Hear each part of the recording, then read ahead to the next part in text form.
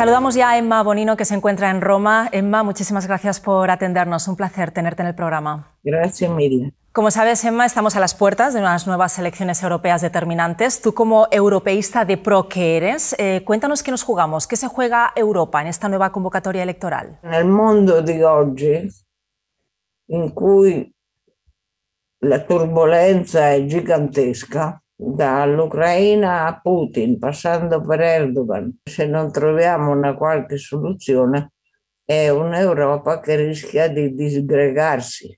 E ogni paese da solo, anche la potente Germania, da solo eh, non va da nessuna parte. Che L'Europa, eh, come una macchina che ha 40 anni, ha bisogno di un reset noi a volte in Europa siamo preda di una burocrazia e anche di un, un'ideologia fuori dal tempo.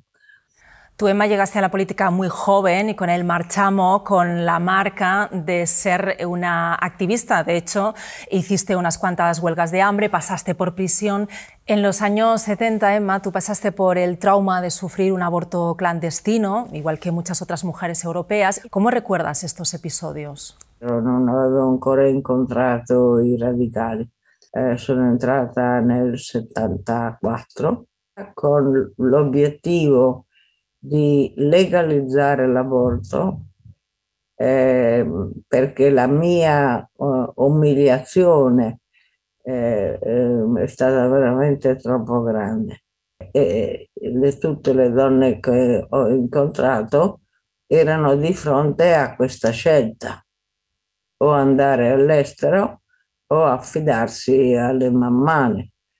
Eh, e quindi era non solo un pericolo, ma anche una grande eh, umiliazione. All'epoca riuscimmo con molte femministe e anche molti uomini a scardinare la, questa parte della situazione. ¿Cómo es posible, Emma, que en pleno 2024 y dentro del espacio europeo todavía haya mujeres, estoy pensando por ejemplo en Malta, en Polonia, que tengan tan restringido el derecho al aborto? Perché eh, tutte queste varie forme di diritti individuali non sono una competenza europea, quindi ogni Stato reagisce alla propria opinione pubblica, però bisogna anche che le donne eh, si diano da fare per proteggere i propri diritti, che non è che sono scritte nel marmo, bisogna eh, curarli, rafforzarli, occuparsene perché eh, lasciati da soli possiamo tornare indietro invece che andare avanti. E almeno nel mio paese segnali di ritorno all'indietro sono abbastanza evidenti. Fanno vedere eh, eh il feto e il battito del cuore, tanto per aggravare l'umiliazione, eccetera, eccetera, ma noi siamo rimasti un paese in cui si abortisce sotto tortura. Tú que conoces bien la política italiana, ¿cómo ves el gobierno de Meloni? È un governo nazionalista di destra a destra, sostanzialmente. I cittadini avevano votato così l'ultima volta. Io spero che dopo due, due anni eh, qualcuno abbia cambiato opin- opinione. Quando si cammina per strada non è cosa ci dice il nostro governo, francamente. Se tu cammini per strada di coppie omosessuali ne vedi quasi tutte, eh, però eh, il matrimonio no. C'è una discrepanza tra quello che propone la destra con la signora Meloni è quello che i cittadini vivono ogni giorno. Una de las principales banderas que enarbola la extrema derecha en toda Europa es la criminalización de los migrantes. De hecho, su discurso ha calado tanto que pocos se atreven ya a defender políticas de acogida y de asilo. ¿Qué podemos hacer para cambiare il relato, Emma?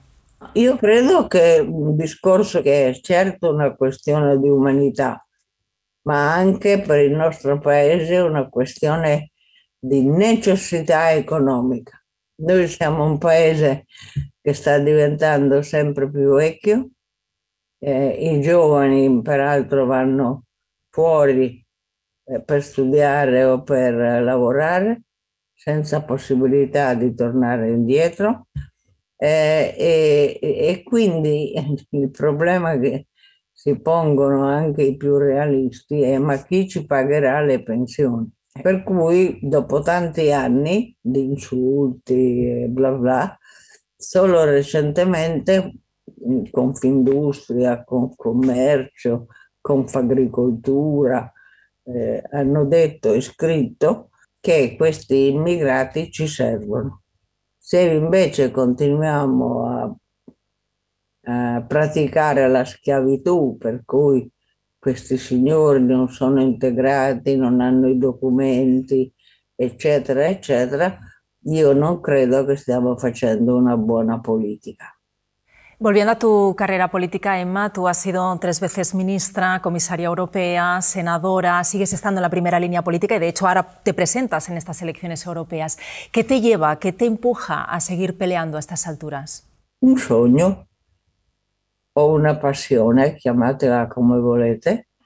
È vero, io ho ormai 76 anni e il mio futuro in realtà sta dietro le mie spalle ma io continuo a pensare, soprattutto per i più giovani, che l'Unione Europea possa essere un posto più vivibile, tanto per cominciare, della Russia di Putin.